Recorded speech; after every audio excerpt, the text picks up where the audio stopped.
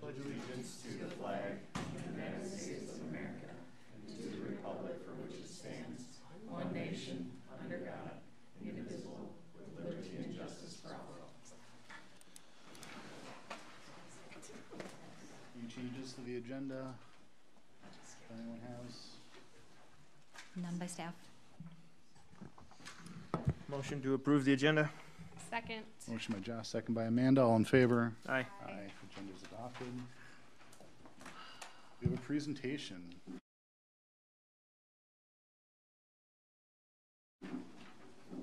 Lori here? Yep. Oh, there you go. Lori Nelson started with the CCEC, which is the Community and Civic Events Committee, in May of 2018.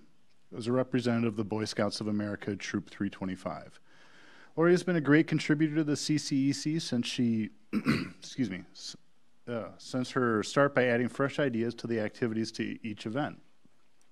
She has been responsible for always arranging the Boy Scouts to help volunteer for the egg hunt, fire rescue days, Halloween, and tree lighting. Lori has volunteered numerous hours of, uh, for each of these events herself. The City of Elko New Market recognizes and thanks Lori for dedicated and valuable service to the citizens of the city.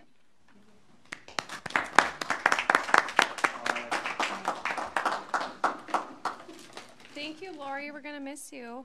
Thank you very much. Oh, you have to get your picture taken. Oh, I have to get my picture taken, okay.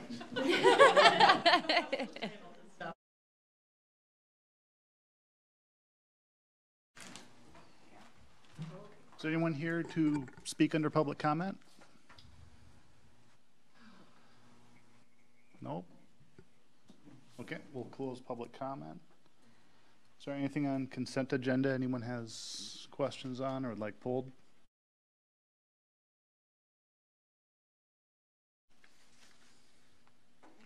Motion to approve consent agenda? Second. Motion by Josh, second by Amanda, all in favor? Aye. Aye. Consent passes. We have no public hearings, so general business, we have one item, the water supply plan update.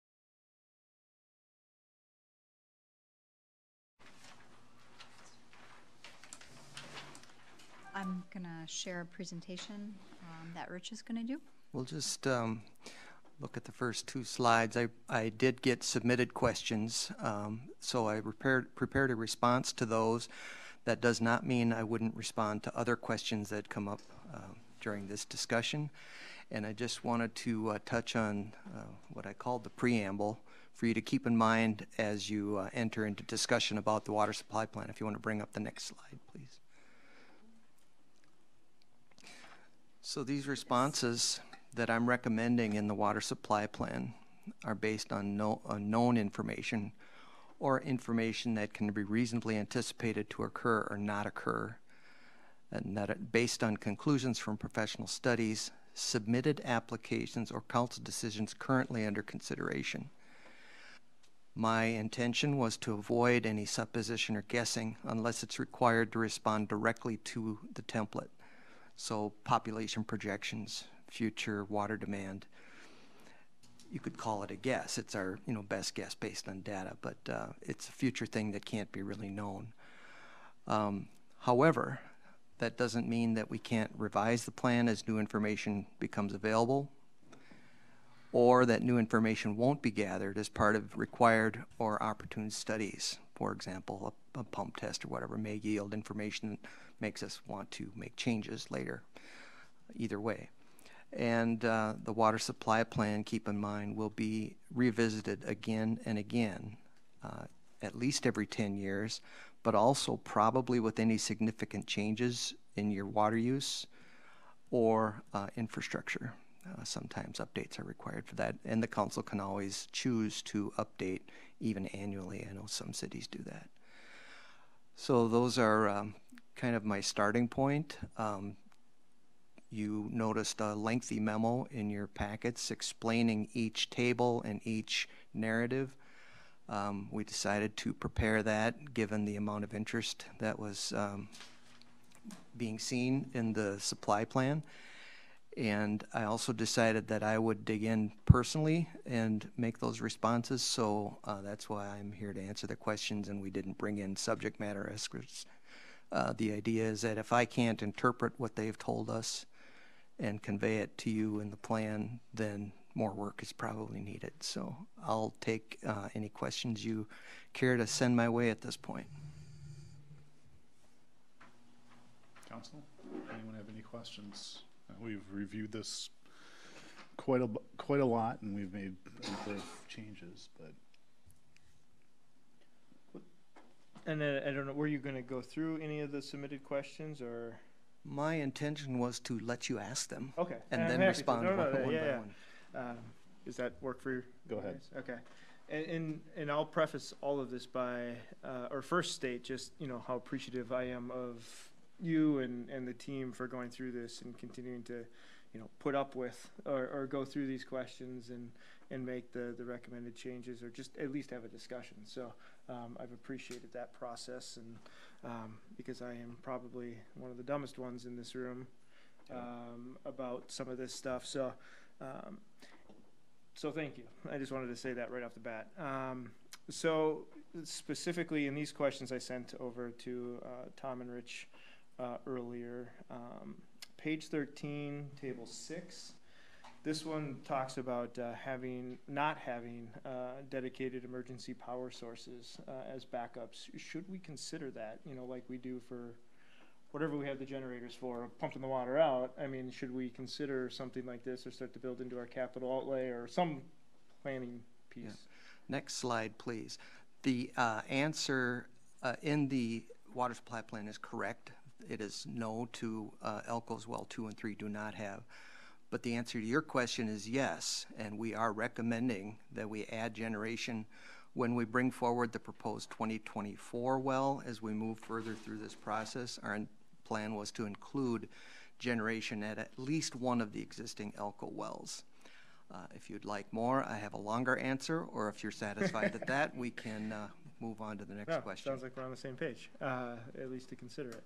Uh, so the next one was on page fourteen of the water supply plan. Uh, this was in regards to New Market Well Three.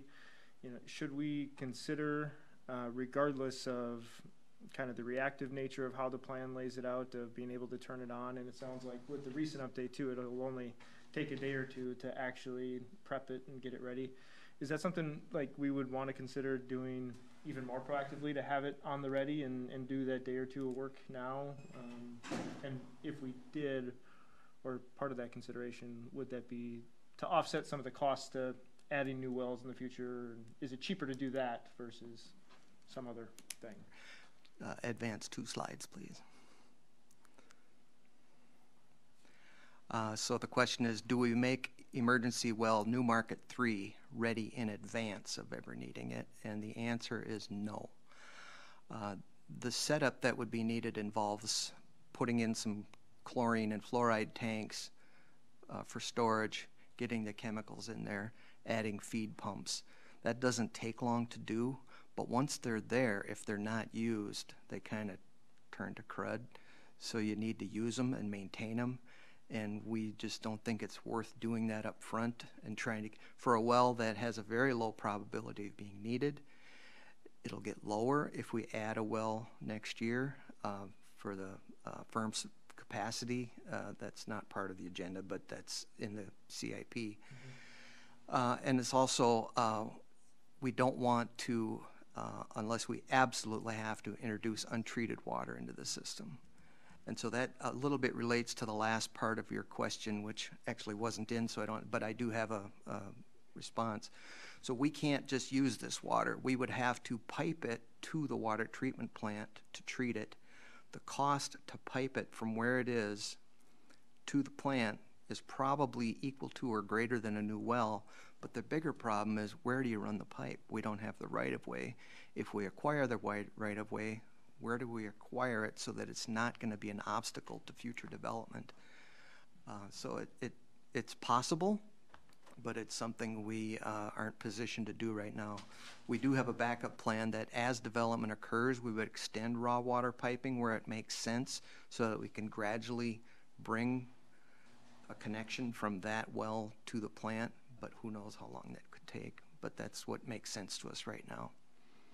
So that's your answer. Okay. Got a couple more. Go ahead. Uh, page twenty-three, table ten. Um, so this is one where we unchecked it.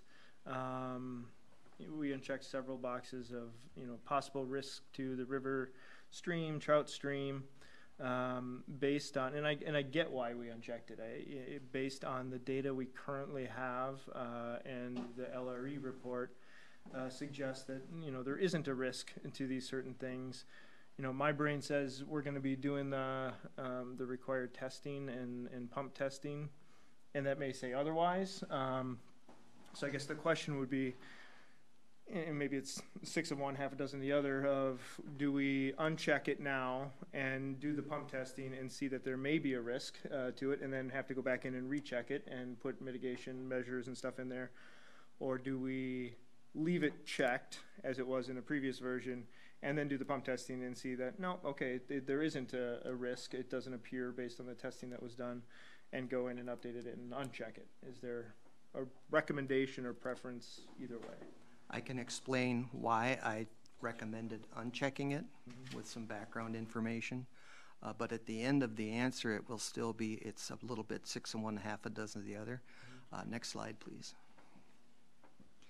So boxes are recommended to be checked only if the city feels there's a reasonable potential for impact based on what we know to be true right now.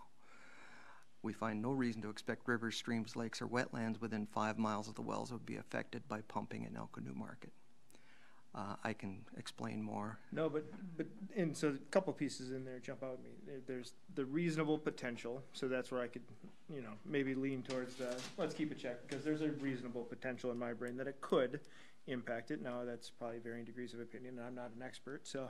Uh, but then that five miles, I mean, that, that's in a variety of different sections of this. I mean, so, eh, maybe they're, That I- comes, um, but that is a very set thing, that this is what we should be focusing our water supply plan on, is the five mile piece. Yeah, I mean, that's a little bit arbitrary, but there's some background to it. So for one thing, right in the DNR's table under trout streams, five miles is one of the criteria that they offer that cities might use to decide whether or not there's a risk. But it also happens to be about the distance, it's actually a little further.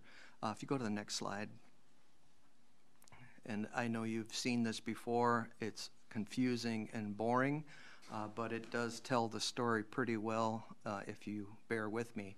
I was actually starting to understand this as I stared at it. Yes. I'm starting to get it. So if we start at the top and work down, you see a jagged black line.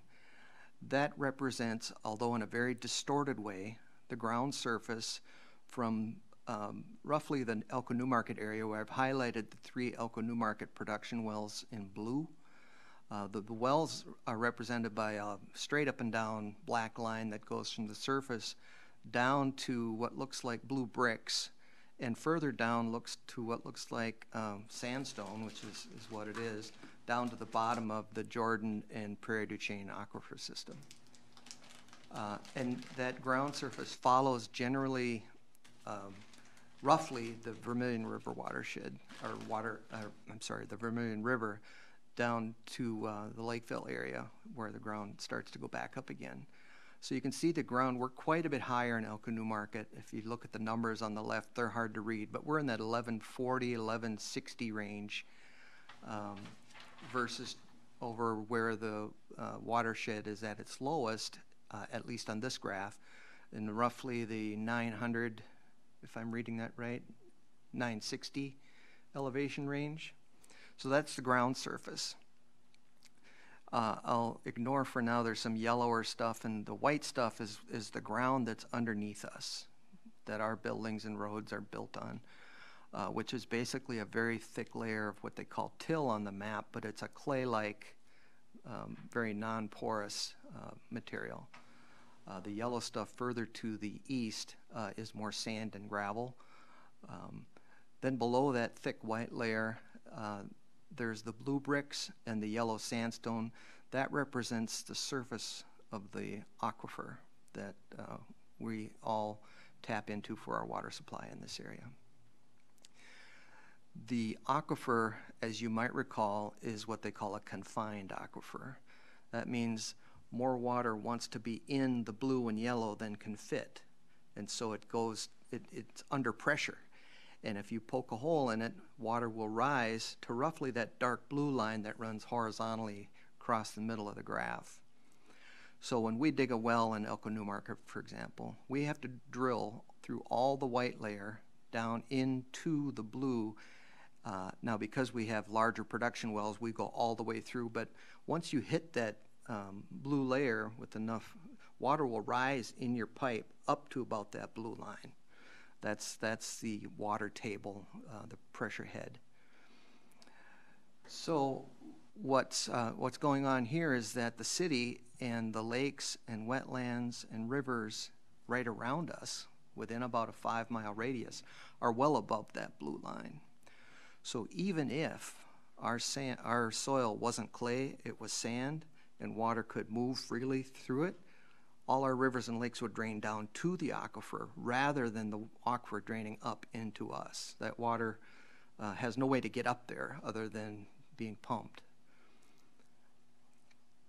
Um, so we've got gravity uh, on the side of not uh, having our wells interfere with surface waters, but we also have that very thick layer of clay. So would our response, would, would a response to this then be different if we were drilling over Absolutely, absolutely. Right. Yep. And how far away is this? I mean, can you put that in perspective? So I've got a green dimension that runs horizontally that says 5.2 miles. That's roughly to the point from Elko New Market's well four to where the ground surface and the water table approximately intersect. I mean, it's, So it's, the you don't blue line pinpoint that is about exactly. Five miles? It's a little over five, five, it's 5.2 miles um, scaled on a map as the crow flies, which is, of course, how the water's going to travel uh, underground. So, yes, if we were in a different position, either lower elevation or, or uh, especially where the water table and the ground surface intersect, we'd be, I'd be much more concerned about potential impact. Now, that doesn't mean that they're not hydraulically disconnected. They could be. We can't know that for sure, and pump testing will attempt to uh, address that. But based on just the, the geol- geology and the geography that we see here, we think it's unlikely that our pumping would impact anything on the surface in this area. And so that's why I'm recommending not checking it. And that's based on LRE's uh, report. So would, uh, so that's fine. I mean, that helps, thank you. Uh, and I, am Go ahead. totally okay shutting up. Uh, but, so the pump testing, you said, will test to see, or as we, des- as the test is designed by whomever it's designed by, will test for any of that hydrologically connectedness or lack thereof. to the extent possible. You can't test everything, but you try to find representative locations, wells, for example, that are in a shallow surface aquifer, or even driving um, some sort of a small well near the river, uh, drive it down to where it's wet and put a gauge on that and monitor it during the pump test to see if there's any fluctuation that would indicate a connection between your pumping and the hydrostatic pressure at that location. So yeah, I would, I would venture there will be some effort to check that out. Not that every pocket is connected, but you, you know, you, you look for what you can that's reasonably close. So not in an effort to screw up your slide deck, but I'm gonna skip one question and go to the next one because Oh, I think it's geez. kind of, kind of connected. It, it was, uh, page thirty-eight, table twenty-two, so, and it's where we unchecked the surface water level flow, or water flows. and- Yep. And saying that there may not be a potential risk. My same comments applied. It's, should we wait until we get the testing and, and adjust either way or whatever? And my response was going to be to refer you back to this section because the phenomenon is the same. Um, And so, and you said it kind of in the beginning piece, uh, that uh, we can update pieces as new information is gathered. you know, Absolutely, we'll Gather yep. through the pump test. Do we have to go through the same process of updating the water supply plan, i.e. all the fifteen steps or twelve steps or whatever it is to update it, or can we If more you quickly want it, update? if you want it to be the official water supply plan that's recognized by Met Council and the DNR, yes. If you want it to be your version that you're using for planning and d- decision-making guidance, you could just make that submittal less frequently, you know, when you're required to, or when there's enough change that you want to go through that process. Um, maybe next slide, I, I think I had some, um, well, I was gonna go on, a- and since we appear to have time and an audience, perhaps I just will jump in. Uh, so I was going to, um, just walk through a thought exercise. Suppose we checked lake as a resource type that was at risk because we're worried about it or what, you know, that leads to, okay, what resource name? I mean, there are small water bodies or rivers or lakes. You, you might check the, or say Vermilion or whatever. Then you move into what's the risk? Um, you're obviously not going to check none anticipated if you checked it as being a resource that might be at risk. Uh, so what risk are you looking for? Is it flow and water level decline? Possibly. That's probably the most likely candidate if you were going to go through this exercise. Then you get into how did you assess that risk? And the asterisk at the top means that you are to attach your documentation for assessing that risk to your water supply plan in the appendix. Uh, so that starts to be a problem if you're just doing it on a, well, let's cover our bases, you know, but we don't really have any good evidence. Um, it kind of leaves a hole in the plan. It gets worse as you move to the right. What's your protection or threshold goal? Well, obviously you don't know, so you check additional data is needed to establish. Now you've committed yourself to further study. Mitigation measures or management plan, there's really only two that would apply, and neither one of them are probably in the city's interest without good data to back it up. And that's changing your groundwater pumping, which means less groundwater pumping, or or moving your wells to another location, which is a pretty costly thing to do unless you really have data to back up the need for that, or increasing conservation, which of course we should be doing anyway. So you could check that box, but it not, might not be. It just it, it kind of takes you down a hallway with some dead ends that you can't answer right now. So my thought process through this was let's stick with what we know. As we know more, we make changes and respond that way. Uh, and I, I won't even talk about the last column, which is monitoring something that you, you don't even know how, you know, what the problem is. So um, you could go to the next slide. Anticipating your next question. I don't have anything The next question, uh, page twenty-five, table ten, was mitigation measure management plan. So one of the, and I don't have it pulled up in front of me, but it was listed as lower pumps and affected wells at city cost. I mean, in, in, in the column over, I believe it said avoid impacting wells or i- uh, avoid well interference, blah, blah, blah. Yep. I mean, so the mitigation measure to me felt like it wasn't a mitigation, it was a reaction, it was, uh, here's the step you take once you, once this happens. Um, and this, I mean, throughout this whole entire process, this is my biggest concern is the well interference piece. Yep. Um, so So- just, it didn't sit right, like, that's not really a mitigation I- I- proactive thing. I'll, I'd be happy to try and explain. Yeah. So just a little background, this box uh, relates to um, well interference, which was checked uh, in Table 10 as a possible risk. And of course, the concern is, just like Josh said, we increase our pumping drawdown as such that it begins to affect the viability of neighboring wells where they're starting to pull in air and not getting the water supply they expect. Um, so to me, mitigation means measures taken to reduce or address a problem, not uh, avoid it. And it's probably your most viable option, given that you have on the order of a million dollar investment in the well that you're currently using and you want to continue to use. Um, the, probably the, the least costly and most effective option, if interference is discovered during pump testing, would be to, if possible, and it usually is, just lower that individual's well pump in the casing. Because the casing we know has to at least go down to the aquifer. The well pump usually sits well above that because it only needs to be in the water in the well casing to get water. Because the water rises to it because of pressure in the aquifer.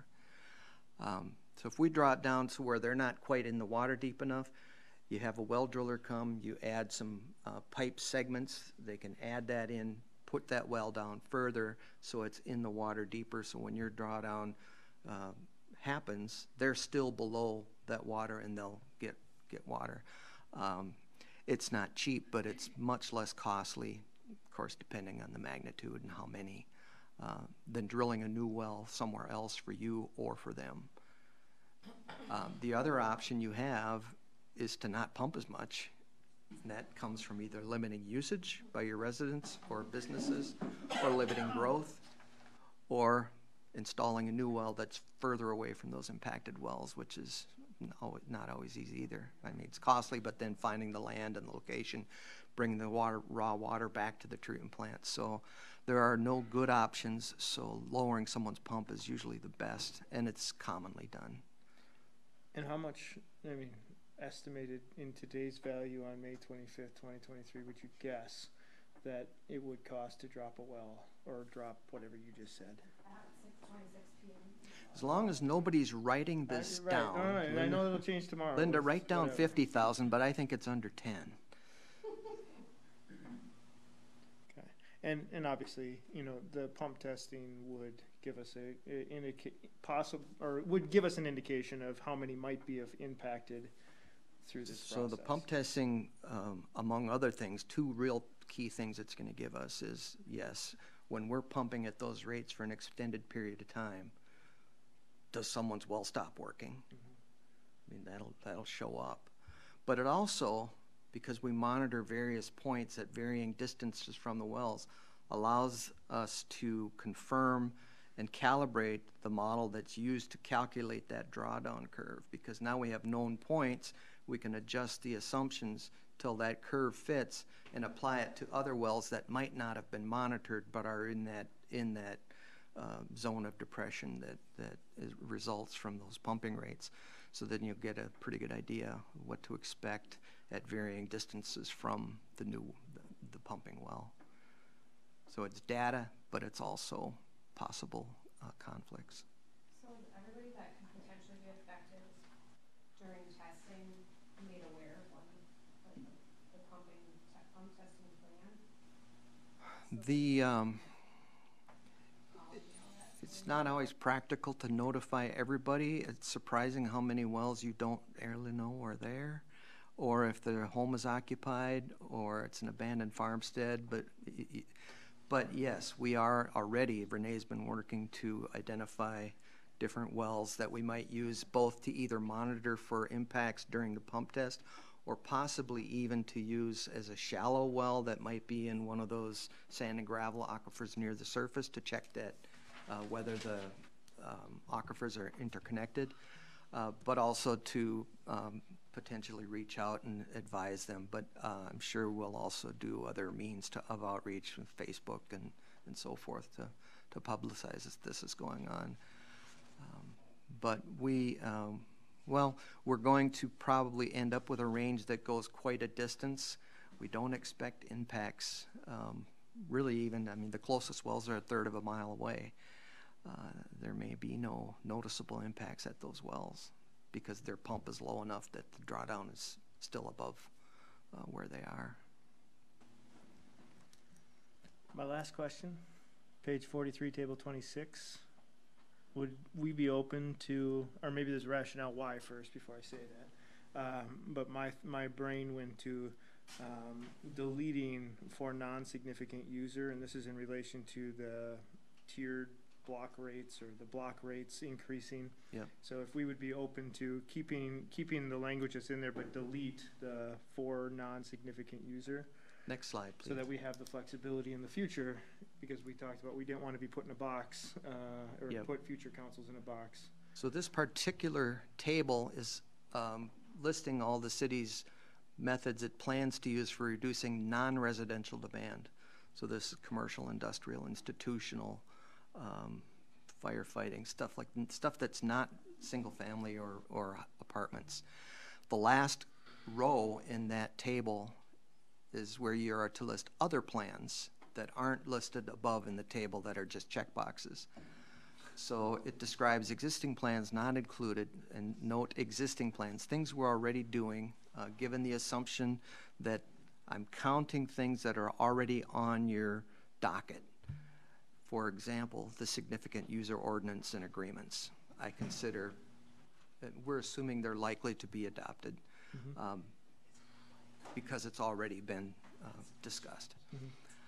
Uh, So, we currently discourage excess use for non-residence uses, in addition to the other things not on this, but in the table in the plan, by using an increasing block rate structure pricing for users that use less than ten thousand gallons per day or one million gallons per year, so non-significant users.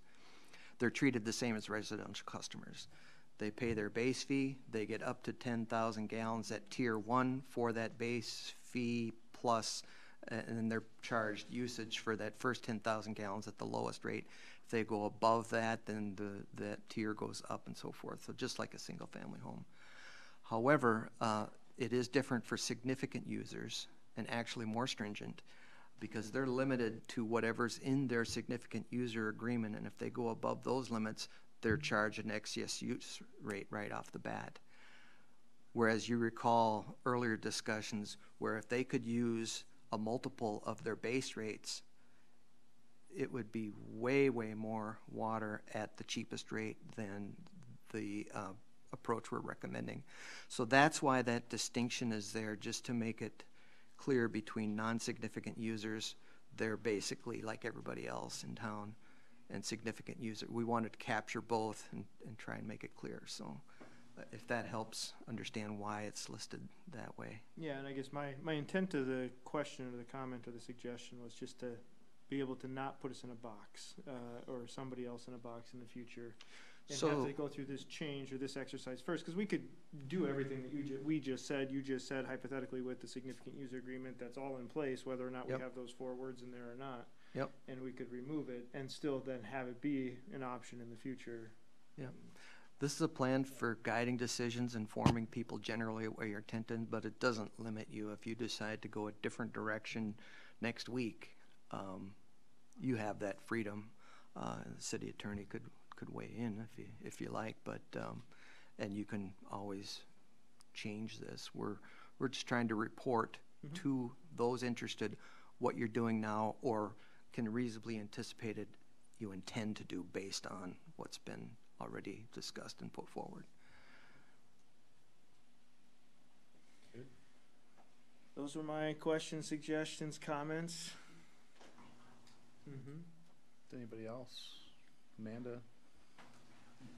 I, I don't either, but So after you have these answers, is this the one change that you want to make? If anybody else agrees with me, otherwise the other ones, like, I- I feel comfortable going either way. I mean, i- i- assuming we can make the changes, I, I still think this plan is better than the current one we have in place anyway, so I think it's a step in the right direction. Um, and I know we don't need to boil the ocean and, probably not a good thing. Uh, w- we can come back and we can, uh, we can fix it, tweak it based on the aquifer pump testing as well. Sure. Can we, what are you trying to get rid of? here? Well, So maybe, uh, do you have the water supply plan handy? it's on page forty-three. forty-three, right? Page forty-three, table twenty-six. I mean, unless you think it would be harmful or, uh, have a negative impact on how we No, would. no, I do- just picked a philosophy Yeah. from the get-go and stuck Yeah. with it. Yeah. Um, rather than try and guess what you might or try and create new things for you to think about. Here's what we have, this is based on what we know, Mm-hmm. and, and that's what we went with. Rich, did you want me to share it for any reason or bring it up? Sounds like there's some interest, so maybe, Okay. Unless you found it. I mean, so I would just, i- i- if I had my way, which is all about me right now, rate tiers with increasing block pricing category, no, with block pricing, comma, e- excess use rate for significant user category would still stand, or something, and, I mean, keep, just remove that piece, uh, of differentiating the non-significant, cause they're still gonna have, based on their ten thousand and one gallons per day, or a million one per year, they're still gonna have to have that significant user agreement and everything anyway. If they're a smidge over, yes. Yeah. That doesn't necessarily mean that they wouldn't be, it dep- you know, you, there's flexibility in how you set that max rate. It might be based on a multiple of their base rates in that case. Um, But without having an actual applicant. And maybe it's as simple as, I mean, I, n- nothing in here is make or break anything. I still think it's better. I, I think we're moving in the right direction. I think we'll get more information as we do the pump testing and get more information. scroll down a little bit, Renee. Um, I think it's on page forty-three at the top. yeah, top of page forty-three, Okay, this is page right there. forty-three. I mean, So, I'm fine what I'm meaning to say is that we use a rising block rate tier program Mhm. for all of our users except significant users, and they're subject to an excess use f- rate. I mean, even the way you just said that right now clicks in my, I mean, that's what we currently do. So that's describing the situation Yep, as of this moment. Yep. Unless we wanted to tweak the significant user ordinance agreement piece and add something in there, then we would want to reflect that in here. But we haven't had that conversation yet Right. necessarily. yep, Well, we haven't. So, I mean, so then, and that'll be potentially coming back at a future council meeting here soon to Yep. talk through Yep. that. Um, Yeah. So you, you're, what are you wanting? Are you wanting to see the language change? Are you? I just want to see if comfortable with anybody else jumped all over and said, yeah, that's a great idea. Or if no, I mean, I don't really care. Um, I mean, uh, honestly, I kind of looked at it as a little bit of, I hate to use the term wordsmithing, but I Yeah. mean, there was nothing that was presented that I thought was unreasonable, that- but. if And I'd you rather feel wordsmith, differently- I'd rather wordsmith and, and get right the significant user agreement and ordinance. If Right. We're gonna nail down anything, cause that's where the enforcement and the teeth Where and the the teeth are. actual yep. is, so. And if we wanna tweak this after we have that conversation, we can tweak it after we have that conversation too. Absolutely. So we should probably do this by motion if we're gonna move forward with it. Right? That's correct. I'll make a motion to adopt the water supply plan. Second. Motion by myself, second by Amanda, all in favor? Aye. Aye, all Aye, opposed? no. Okay. All right, water supply plan, plan passes.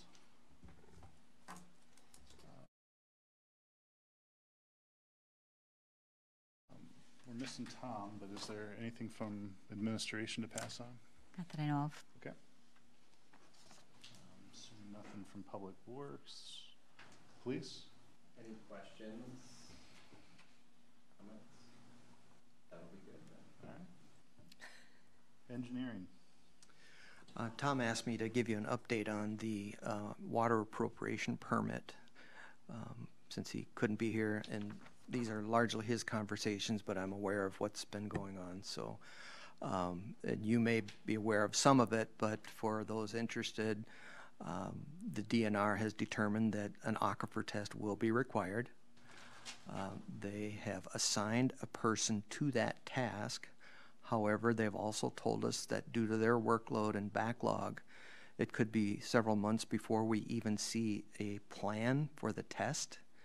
And once that's, you know, adopted and agreed to by everybody, could be several more months before the test is performed and any analysis and reporting findings are done. So um, we uh, conferred with uh, LRE, who is our subconsultant for hydrogeology, Dave Hume. You've all met him. And uh, he informed us that it is not uncommon for cities to prepare their own test pump plan with the help of uh, professionals, that that plan uh, can be submitted to the DNR for review, and when they approve it, that becomes the plan. Um, we have conferred with the DNR. They um, uh, agreed with that, uh, that it's happened before.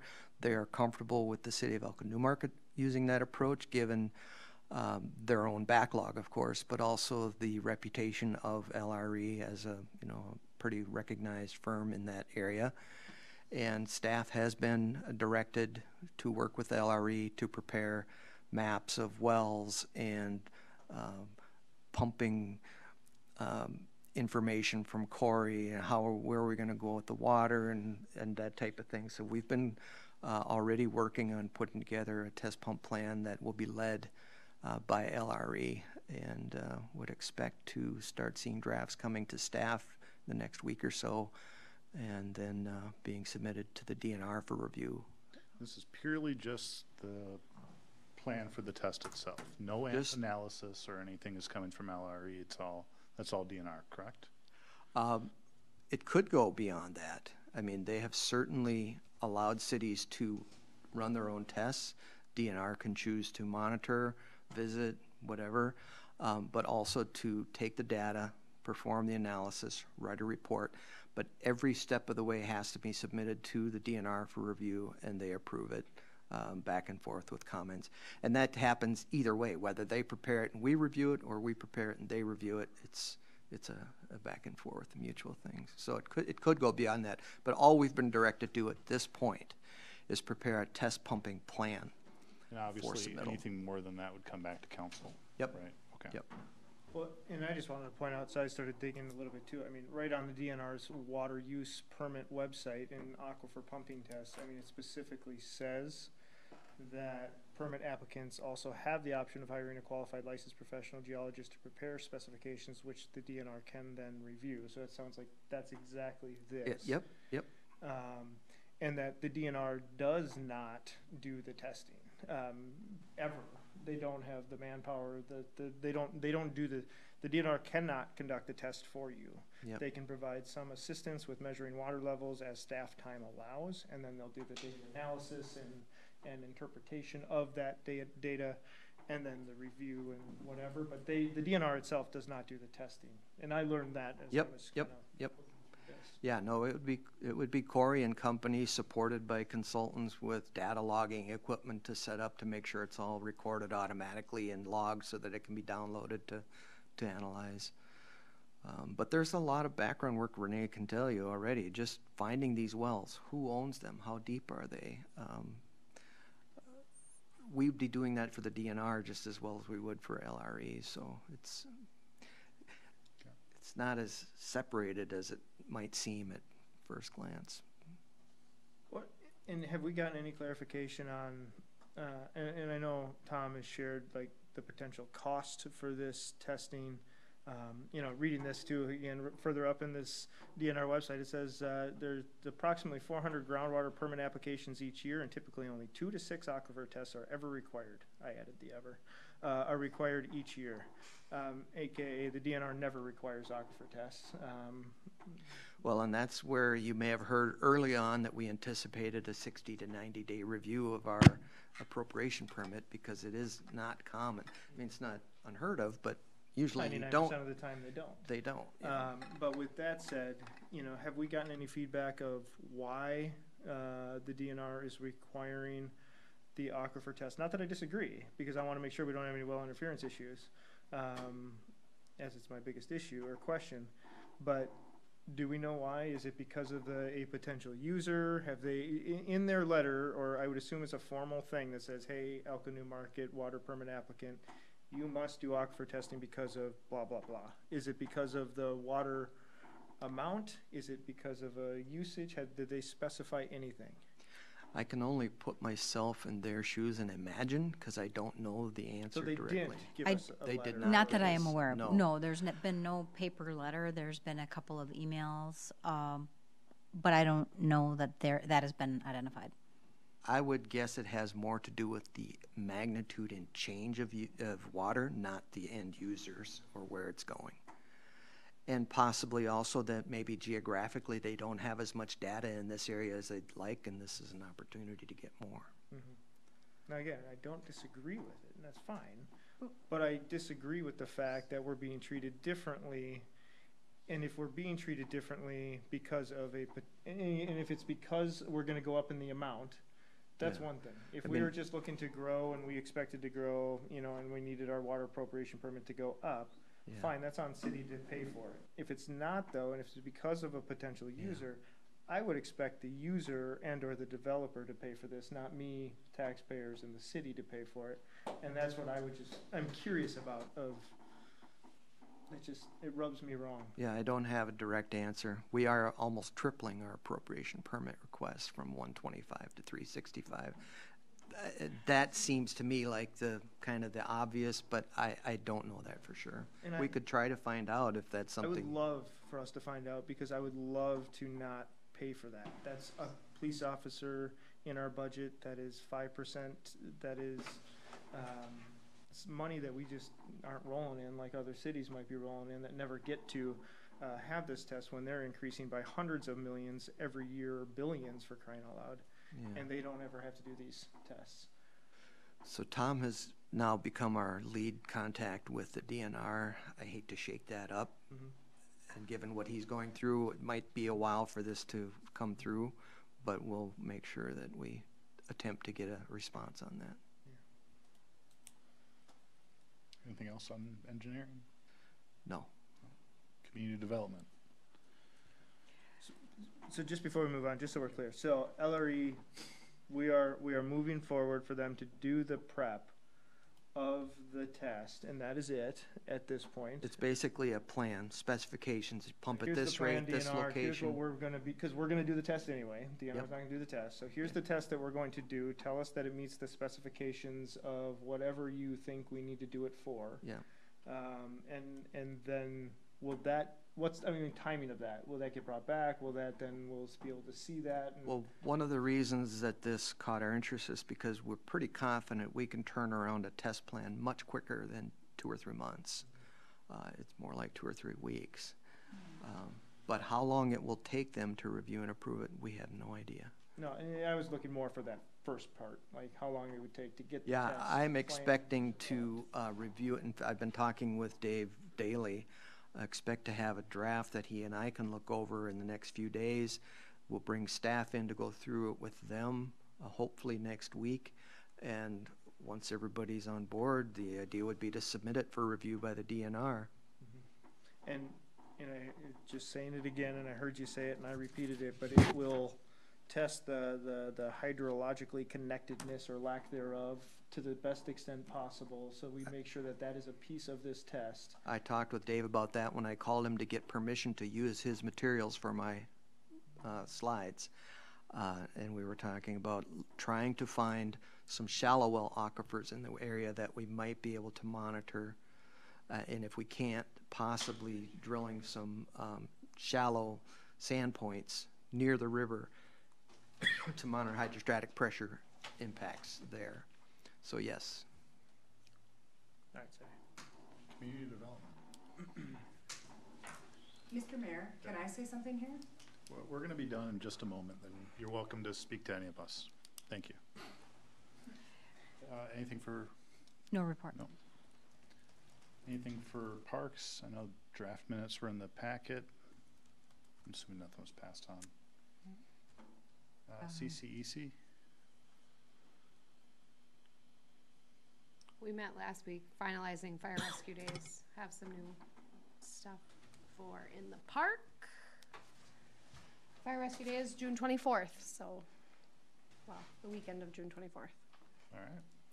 Um, Can I go back and just give a quick Yeah, update on go parks? ahead. You guys probably have heard this off the record, but there was a, um, open house up at Woodcrest Park to get resident input regarding, uh, possible redevelopment of the park, and it was well-attended and really fun to see all the kids and kids and parents giving suggestions, so. Nice.